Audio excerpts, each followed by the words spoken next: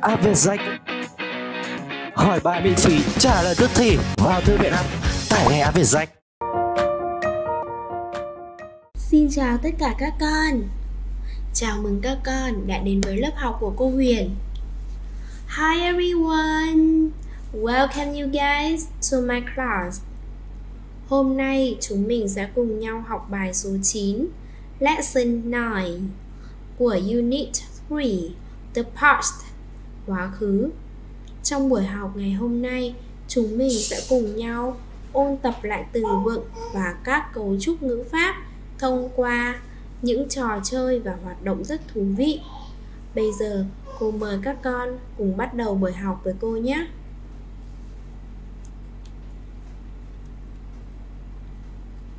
One. Use the code to find the first and last letters of adjectives about people and places. Write the adjectives, then match them with their opposites. sử dụng những ký hiệu để tìm chữ cái đầu tiên và cuối cùng của các tính từ này những tính từ này về người và nơi trốn viết những tính từ sau đó nối chúng với những cái từ trái nghĩa của chúng ở trên phần này chúng mình có thể thấy các chữ cái A, E, I, O, U và một loạt các ký tự. Ở đây mình sẽ gióng xuống ví dụ chữ cái A này sẽ đi với ký hiệu A và ký hiệu thăng. Chữ cái G sẽ đi với ký hiệu với chữ cái Y và ký hiệu thăng.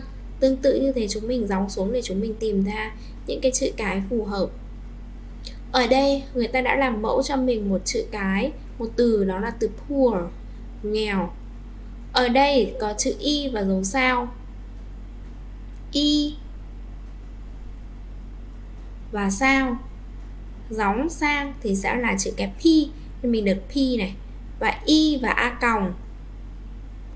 Y và a còng thì sẽ được r tức là chữ cái cuối cùng là r.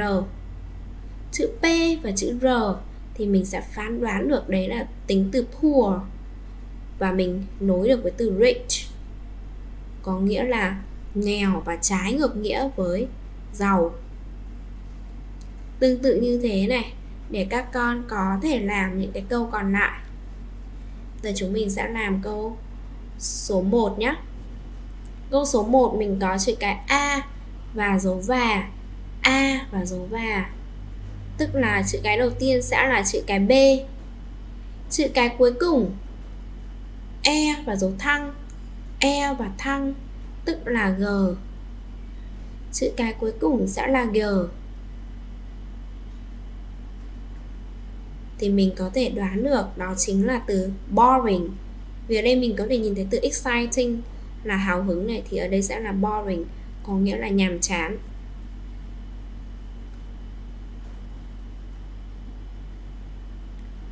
Câu số 3 Câu số 2 chữ cái đầu tiên, O và ký hiệu và. O và và là chữ cái t. Chữ cái cuối cùng, u và thăng. U và thăng là chữ cái y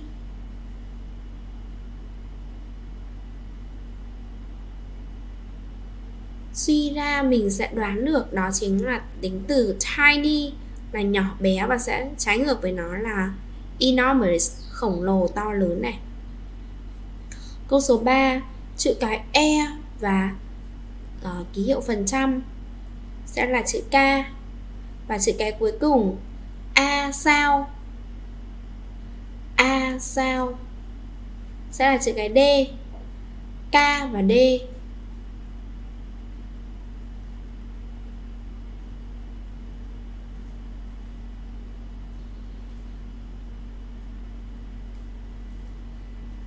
thì bây giờ chúng mình sẽ tiếp tục quan sát xem nó là tính từ gì dựa vào những cái từ còn lại nhé ở đây mình thấy từ cruel là độc ác thì trái nghĩa là kind, là tốt bụng, tử tế thì nó hoàn toàn trùng với cái câu số 3 này. Như vậy số 3 sẽ là kind, tốt bụng này. Câu số 4 O hỏi chấm này. O hỏi chấm thì sẽ là U, Chữ cái U này. Và chữ cái cuối cùng E và A còng E, A còng chính là chữ cái L.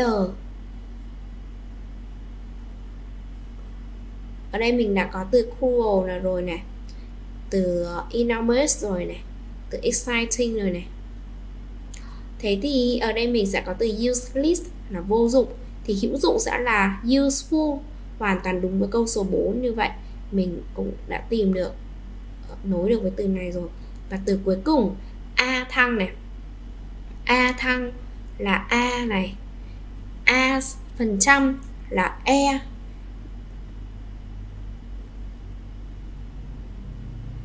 Ở đây mình chỉ còn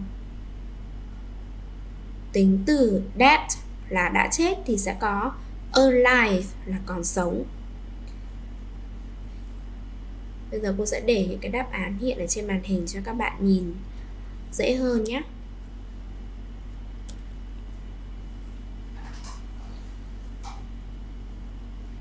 Cô mời các con cùng ôn tập với cô uh, các cặp tính từ trái nghĩa này một lần nữa nào.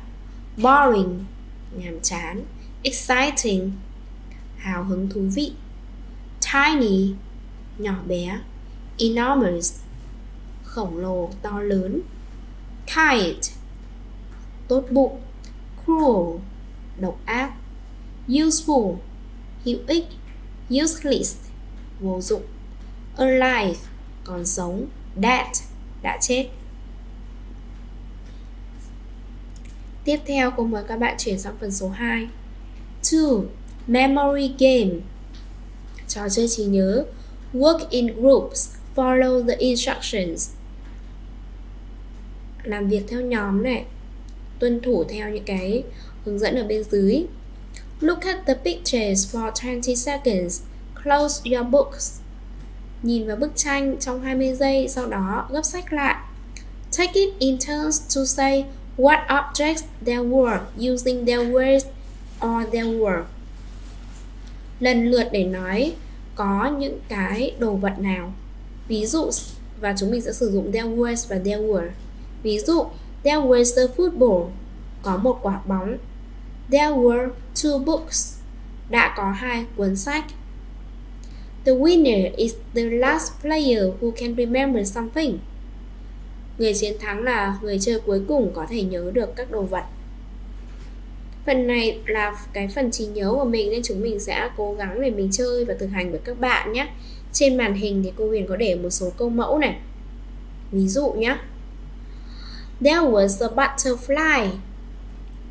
Có một chú bướm ở hình số 5 này. There was a picture có một bức tranh ở hình số 7 There was a hamburger. Có một cái bánh hamburger hình số 9 There were two people. Có hai người hình số 1 There were three apples. Có ba quả táo hình số 2 There were four kinds of water juice. Sorry, orange juice có bốn cái lon nước cam ép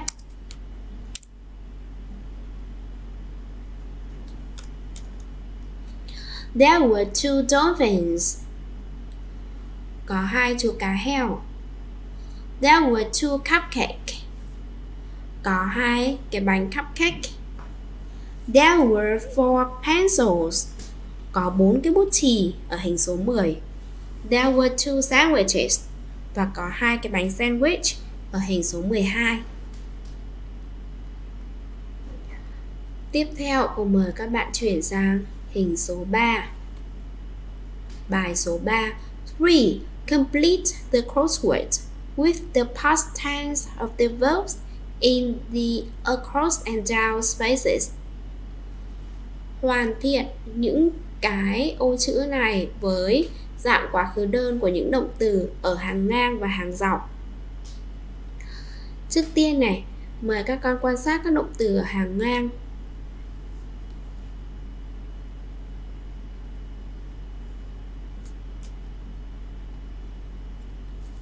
chúng mình có động từ explore khám phá từ động từ khám phá này là một động từ có quy tắc chúng mình chỉ cần thêm d vì ở đây nó đã có e rồi. Từ thứ hai, feel, cảm nhận. Cảm nhận là một động từ bất quy tắc, mình sẽ chuyển nó thành felt. Từ thứ ba, give, cho đi, là một động từ bất quy tắc, chuyển thành gave. Từ thứ tư, meet, gặp gỡ, một động từ bất quy tắc, chuyển thành met. Từ thứ năm, travel một động từ có quy tắc. Chúng mình nhân đôi chữ L và thêm đuôi ed hàng dọc. Từ find tìm thấy là một động từ bất quy tắc, chuyển thành found từ leave, rời đi, bất quy tắc, chuyển thành left.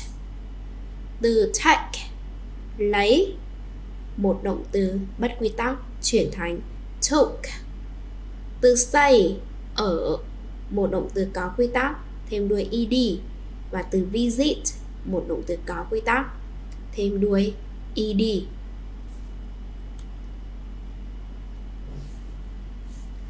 Trên màn hình phía bên tay phải là uh, tất cả những cái dạng quá khứ đơn của những động từ mà cô vừa mới nói. Chúng mình sẽ điền những cái động từ này vào uh, ô chữ nhé bây giờ cô mời các con cùng ôn tập các động từ này với cô một lần nữa. Cùng đọc theo cô nào. Traveled.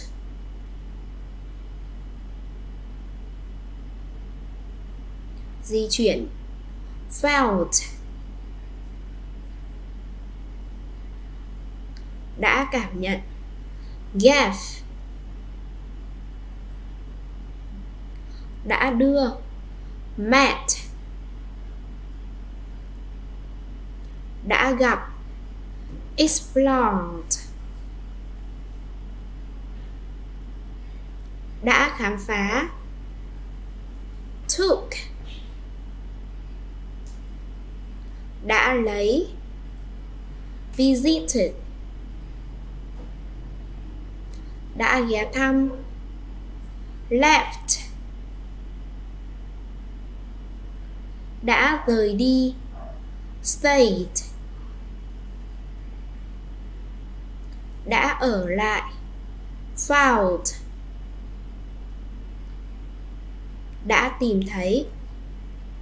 Tiếp theo, cô mời các con chuyển sang phần số 4 for telling a story, work in teams, follow the instructions. Kể một câu chuyện. Làm việc theo nhóm, tuân thủ những cái quy tắc bên dưới each person chooses a verb from the box and writes it down mỗi một người chọn một động từ trong hộp và viết nó xuống one person in each team reads the sentence below out loud and asks another part to the sentence using his or her verb from the box. Một người trong đội đọc cái câu ở bên dưới thật to và sau đó thêm một câu, thêm một phần, thêm một bộ phận vào cái câu đó sử dụng động từ của họ từ trong hộp. Ví dụ, Yesterday I found a time machine and I traveled back in time. Ngày hôm qua, tôi đã tìm thấy một cái cỗ máy thời gian và tôi đã du hành quay ngược lại thời gian và ở đây câu thứ hai bạn ấy thêm vào là, and I saw a dinosaur. Và tôi nhìn thấy một con khủng long. Tất nhiên các con phải đọc cả câu. Với mỗi một lượt của chúng mình thì chúng mình phải nói lại, kể lại cái câu chuyện nó từ đầu và sau đó mới thêm một câu hoặc là thêm một cái mệnh đề vào trong cái câu chuyện đó. The next person in the team repeats the sentences and adds another part using his or her verb from the box.